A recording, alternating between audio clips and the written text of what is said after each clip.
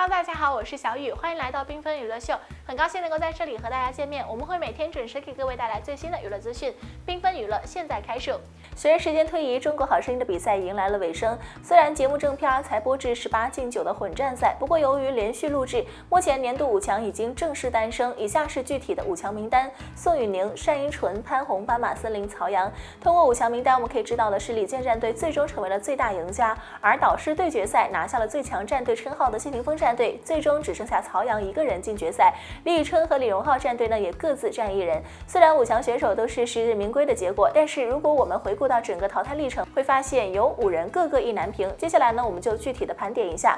第一位赵子画，十八进九被淘汰的赵子画是编者个人最喜爱的选手。本来以为是成熟歌手的赵子画呢，能够顺利到进入到决赛，但是没有想到最终却止步在了九强。赵子画被淘汰，只能够说明老牌选秀回锅肉在这个舞台上面不受欢迎，并不能够证明其水平不够。赵子画的代表作《可乐》近日正式被王源在我们的歌上面翻唱了，这也再次证明了赵子画的创作才华是备受业内认可的。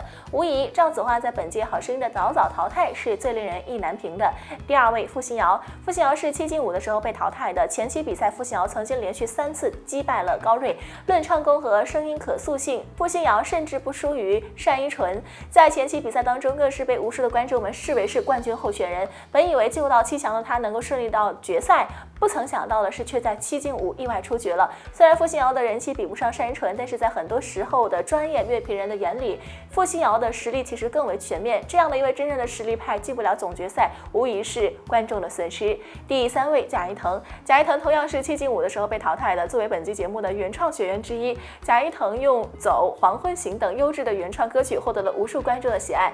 论人气，他不输于进入决赛的宋雨宁，但是没想到更为优秀的贾一腾却止步在了五强。对于观众来说，在本季的原创选手当中，相信大多数人都会选择虎头贾一腾进决赛，而不是宋雨宁。第四位高瑞，十八进九被淘汰的高瑞同样是十分可惜的。虽然高瑞在唱功各方面都还需要提升，但是在前期比赛当中，我们可以很明显的看到他的进步。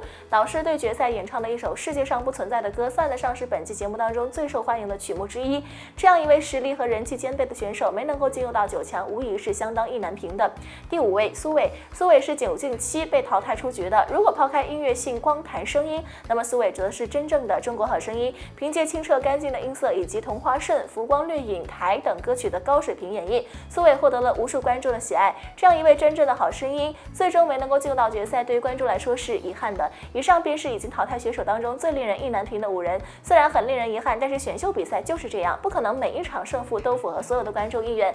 有时候运气可能比实力更为重重要，但无论怎么样，以上五人会被好声音的忠实观众永远记住。在此，我们也祝福他们未来的音乐道路越走越好。或许在未来的某一天，他们会以更好的自己和我们见面。说话不停，娱乐不断，感谢大家关注缤纷娱乐秀。如果您喜欢我们频道的话，请给出您宝贵的赞，并且记得订阅我们，同时不要忘记了点亮订阅右边小铃铛，这样就可以在第一时间收到我们频道内容了。我们下期节目再见吧，拜拜。